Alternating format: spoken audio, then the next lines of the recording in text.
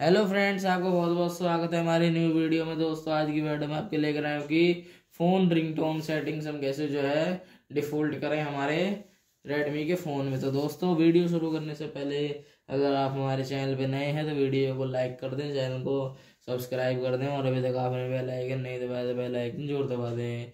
चलिए दोस्तों, बिना ऐसी देरी हम जो है वीडियो स्टार्ट करते हैं। सबसे पहले दोस्तों, आपको जो है अपने फ़ोन की सेटिंग में जाना है। सेटिंग में जाने के बाद फ्रेंड्स यहाँ आपको आपको जो है ऊपर करना है। यहाँ पर आपको देखने को मिलेगा साउंड साउंड पे क्लिक करें।